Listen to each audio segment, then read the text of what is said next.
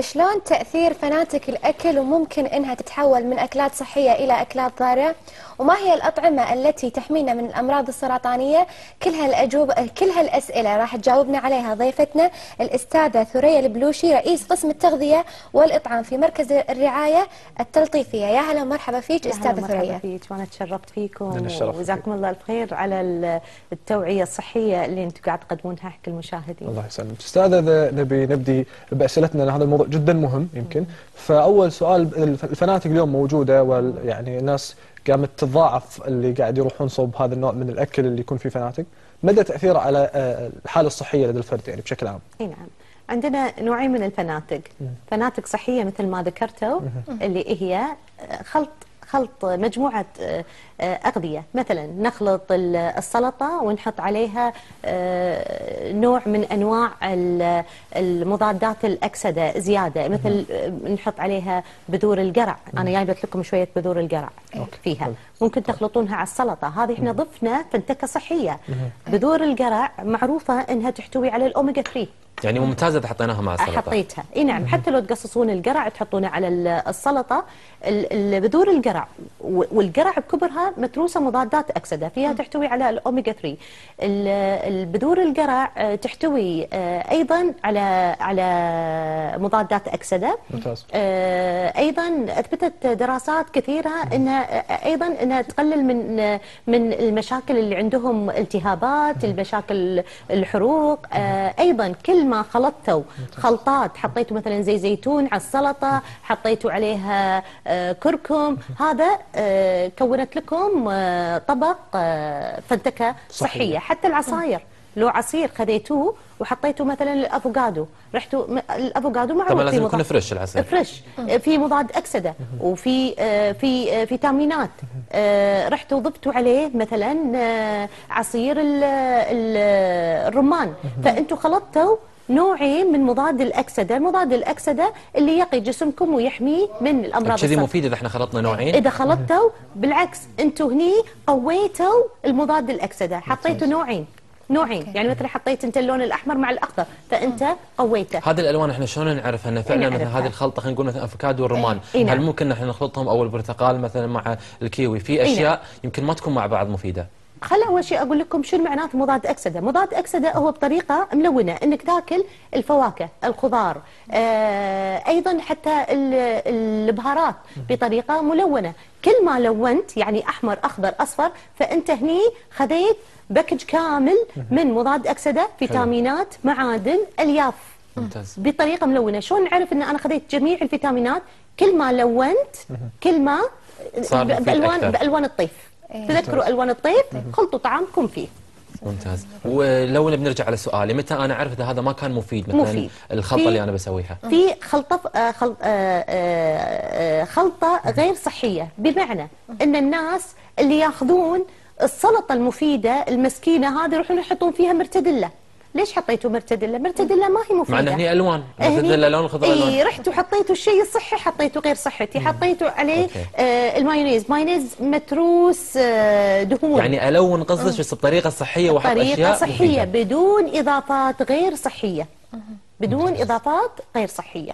بس أكثرهم اللي يسوون مثلا رجيم أو diet نفس الطريقة اللي انت قلتيها. إيه. إنه مثلا سلطة هو ما يبي يعني ما يبي ياكل نشويات. إي نعم. فدائما يتطرق للبروتينات مع السلطة فيحط الدياي مرتدلة ممتاز. نقانق. خليه يحط الدياي. هذه إيه. تصير وجبة كاملة. يحط مثلا الدياي يحط التونة يحط السلمون. بالعكس هم هذا ممتاز. هذا شيء حلو. بس يحط الصلصة الصلصة الصحية اللي هي زيت الزيتون بس ما يحط على الليمون. إي يحط مثلا آه، صلصة ال- آه، زيت ال- ال- القرع. هم ممكن يحطه آه، أنواع البهارات يحط فلفل أسود عليه. هذا كلها مضادات أكسدة ومضافات ممتازة. نسوي الصلصات الصحية. وهل فعلا إن الأكل إذا انخلط بعض الأحيان يتحول إلى أكل سام يعني مضر؟ آه، الخلطات الغير صحية مثل ما ذكرتها إيه ممكن تضر. تضر بمعنى شنو؟ إن انت زودتي الدهون بجسمك. والدهون كل ما زودتي الدهون بخلطات غير صحية هذا معناته اديتي إلى السمنة. ما نبي إحنا الدهون الضارة. إحنا نبي الدهون المفيدة اللي ناخذها من زيت الزيتون زيت القرع آه، ممكن ناخذها عن طريق بذرة الكتان آه، حبة ال- القرع. القرع. هم تعتبر هذه من الدهون. حتى حبة القرع ناخذها المتان عليهم يدرون بالهم. مو على انها شيء مفيد أروح أكثر منه. لأنه هو. دهون ترى.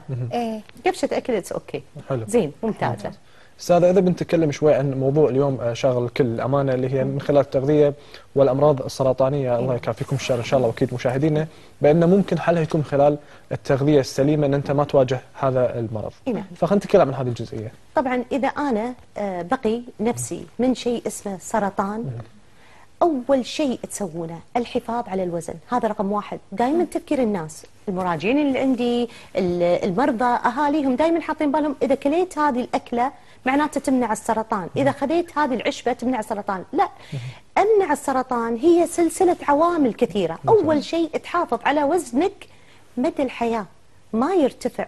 أحافظ بالوزن الم- الم- المعتدل. لأن السمنة بينت أبحاث كثيرة. إنها تؤدي إلى آه، أكثر من ثمان أنواع آه، من السرطان. مثل سرطان الثدي البروستاتا الجهاز الهضمي الكلى وايد سرطانات. فلازم هي عموما السمنه آه، مفتاح آه، كثير من الأمراض. أيضا لو لو لو, تعرف لو تدرون إن إن الكويت تتربع على على. عرش ال- عالميا. هي المرتبة الأولى. 42% عندنا السمنة. هذا شيء مخيف. بس نفس الوقت يمكن أستاذة قاعد نشوف وايد ناس أضعاف وناس مهتمين بالثقافة صح. الرياضة. فهل أنا تحسين دراسة فعلا يعني صحيح. صحيح. إيه، شوف أنا اللي لاحظته في الأواني اللي الحين الفترة الأخيرة لقيت إن التوعية مو طبيعية. أخصائيين التغذية يعني مشكورين إنهم بالإنستغرام شغالين. صح. تلقاه إجازة إجازة دراسية تلقاه مسافر يصور. وي- ويجمع كل الأبحاث ويقدمها من صح، طبق طبعاً. من ذهب حق حق ال- المشاهدين. آه، أيضا ال- أيضا ال- ال- ال- التلفزيون. في وايد تلفزيون. التلفزيون تلقى قاعد يحطون شغلات توعوية. حلو. معارض. المعارض آه، الصحيه قاعد نوعي الناس. الناس صار عندها توعية تسأل عارفة معلومات. ولكن عندنا المشكلة إيه، شنو الخلل؟ ان هل هم خذوا الشيء؟ إحنا وعينا هم خذوه. مثل اللي اللي عارف إن السرطان يسبب سرطان الرئة ال- ال- التدخين يسوي سرطان الرئة. بس يدخن. ما اخذ السلوك هو المش... المشكلة. إحنا علينا التوعية. لكن السلوك للحين طب أنتم يعني, يعني يعطيكم ألف عافية يمكن في الأخصائيين يعني أحمد. دريم إيه. يعني مو قاعد يقصرون بهذا الشيء وقاعد نشوف شباب استجابه وأتوقع اللي إيه. سوى الدراسة أتوقع يعني راح يشوف مرتبة الكويت بالسمنة إيه. وايد إيه. أقل إيه. الحمد لله نتمنى فعلا أي واحد يعني سمين إنه إيه. ينتبه لصحته ولكن إيه. أتوقع في صحن ملون يمك إيه. ويمكن المشاهدين يتساءلون شنو قصته نعم اي شوفي هذا الطبق هذا أنا أتمنى لكلكم واليوم تروحون تسوون نفسه ما يبي شيء ما لا تشترونه روحوا حطوا كرتونة ولا ورقة ولا طبقكم الأبيض. اخذوه قسموه بهذه الطريقة. لو تلاحظون إن ثلث الاكل بس هذا أكثر- لو أكثر تلفين على الكاميرا أكثر الناس من تشوف معنا. أكثر من النص. أكثر من النص. زين. آه هو عبارة عن خضار وفواكه. حلو. وفي بروتين وفي اللي هو الحبوب والمنتجات الحليب. نبتدي في الحبوب. الحبوب إن المفروض إنكم تكثرون من البقوليات.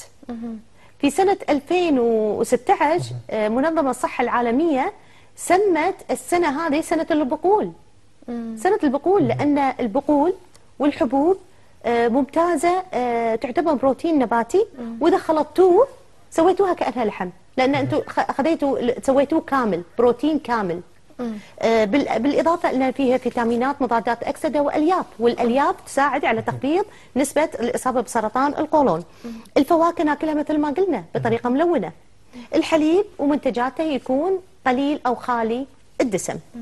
أيضا ال- الخضار تأخذون جميع الخضار بطريقة ملونة. كل ما زدتوا الألياف كل ما قللتوا الإمساك وبالتالي قللتوا من مرض السرطان الثدي وأيضا الجهاز الهضمي. ممتاز. واللحوم حاولوا على قد ما هذا تاخذون آه، الأسماك البيضة آه، السالمون تاخذون مرة في الأسبوع تكونون نباتيين. ما شيء صحي لحم ولا. دياي. اكلوا مموش معدس. بس الهريس بحدود هني راح يمتنون إذا أي هالاشياء لا لا، لا كل مموش التقسيم معدس بالتقسيمات اللي- عليه شوية موجودة. هم وايد زين صحيح وأكيد يمكن هذه النقطة ممكن نقدر نختم فيها مع مشاهدينا بأن إيه. التقسيم في الأكل و- والتوعية جدا مهمة وتطبيقها أيضا جدا آه، مهم. كل شكر لك أستاذة أمين. ثريت على تواجدك معنا اليوم. وهذه النصائح اللي متأكد أن إن شاء الله مشاهدينا أكيد راح يستفيدون منها. مشاهدينا وصلنا لختام هذه الحلقة وأكيد نلتقي معاكم إن شاء الله بحلقات جديدة. نشوفكم على خير إن شاء الله ومع السلامة. مع السلامة.